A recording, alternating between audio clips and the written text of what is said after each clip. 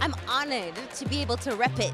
You know what I mean? Canadian, Jamaican. I'm all, I, I always call myself a cultural ambassador. So welcome, this is your girl Kreesha on FEVA TV. Make sure you catch the FEVA. Yeah, yeah?